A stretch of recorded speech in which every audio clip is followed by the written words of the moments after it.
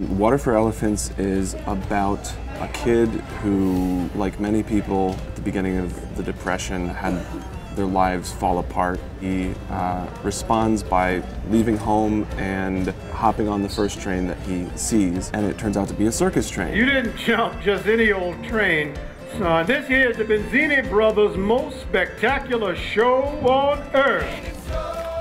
We are here uh, for the first time on our feet, as they say in the theater business, which is we're no longer sitting at tables. We're learning the language, the physical language of our show. For the first time, we're sort of bringing together all of the different mediums in terms of puppetry, dance, acro, staging, choreography, circus rigs, music, a band. And putting it all together to create the first sort of public-facing presentation of Water for Elephants. To kind of get a feel for what it means to have 22 humans all moving at one time. There are people flying overhead and there are things being pulled out of the sky and things rising up from the ground and all those wonderful things that happen at the circus. You don't really get the opportunity to try all that out all that often.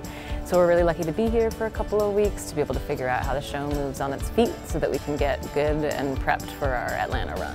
I'm really excited. I've never worked at the Alliance and I have so many friends who have and who have said, oh, you're gonna love it.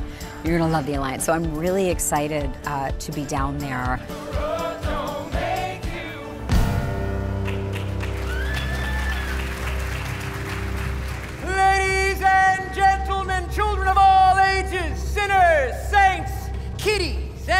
Corpses, I give you Benzini Brothers' most spectacular show on earth.